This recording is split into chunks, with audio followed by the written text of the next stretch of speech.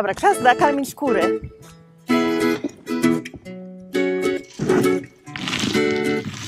Otwieraj im, dobra? Idą do góry, do góry. Szczęśliwe kury. Kury puszczone, nakarmione sobie jedzą tutaj pięknie. E, w każdym razie, kury ogrodziliśmy w ten sposób, ponieważ lis umiłował sobie je, bardzo lubi drób i wcina go, e, prawie codziennie chciał go wcinać. E, musieliśmy je przenieść na tarasy, zrobić takie ogrodzenie. Nie mogą być po prostu trzymane normalnie. Do tej pory, do maja, chodziły sobie wszędzie po całej posesji, ale tego robić już nie mogą, ponieważ po prostu jest ich coraz mniej. Dlatego mamy tutaj, o, taki oto kurnik, proszę bardzo. O, akurat jedna kura siedzi. Proszę bardzo, jak medialnie. E, Ze sztucznymi jajkami. Czemu sztuczne jajka? Ponieważ nasze kury są kanibalami i lubią jeść jajka. Odkąd mamy te sztuczne jajka, one są twarde, ciężkie, e, to one po prostu przestały te jajka jeść. To jest dzieło mojego męża. Bardzo fajne. Lis się denerwuje, jak widzi ten kurnik, ponieważ widzi wszystkie kurki w środku zamknięte całą noc i nie może ich zjeść.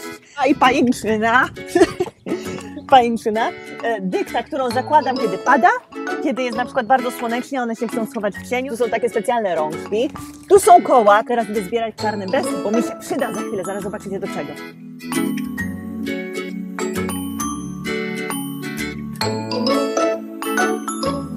się sypie strasznie.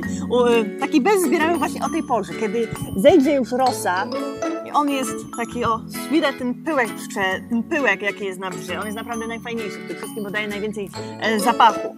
Mm, Po co zbieram ten bez? A, bo chcę zrobić szampana. E, szampana robimy bardzo prosto.